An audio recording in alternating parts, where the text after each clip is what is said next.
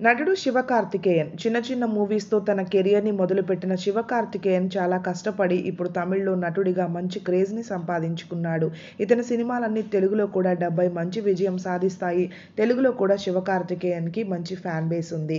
అలాగే straight Telugu film అయిన కౌశల్య కృష్ణమూర్తిలో కూడా నటించాడు. ఇక తన నటనకు గాను Tamil Nadu state film awards SIIMA awards Vijay awards ఇలా ఎన్నో లభించాయి. ఇక ఇతని పర్సనల్ లైఫ్ విషయానికి వస్తే రెండు వేల పదిలో వారి రిలేటివ్స్ అయిన ఆర్తి అనే అమ్మాయిని పెళ్ళి చేసుకున్నారు. వీరిది హ్యాపీ మ్యారీడ్ లైఫ్. ఈ దంపతులకి ఇద్దరు పిల్లలు ఉన్నారు అయితే ప్రస్తుతం శివకార్తికేయన్ ఆర్తి దంపతులు వారి మూడో బిడ్డకి లైఫ్లోకి వెల్కమ్ చెప్పబోతున్నట్లుగా న్యూస్ వైరల్ అవుతోంది. ఈ విషయాన్ని ఈ దంపతులు అఫీషియల్గా కన్ఫర్మ్ చేయలేదు కానీ రీసెంట్గానే వీరిద్దరూ కూడా ఓ బర్త్డే పార్టీకి అటెండ్ అయ్యారు. ఈ బర్త్డేలో ఆర్తి బేబీ బమ్తో కనిపించింది. దాంతో లిటిల్ శివకార్తికేయన్ రాబోతున్నాడు. కంగ్రాచులేషన్స్ అంటూ పెద్ద ఎత్తున ఈ దంపతులకి విషయస్ అందుతున్నాయి. మరి వీరు కూడా ఈ విషయాన్ని అఫీషియల్గా కన్ఫర్మ్ చేస్తే బాగుంటుంది అని మరికొంతమంది భావిస్తున్నారు ఈ వీడియోలో. ఆ ఫొటోస్ని మీరు చూసేయండి. నచ్చితే లైక్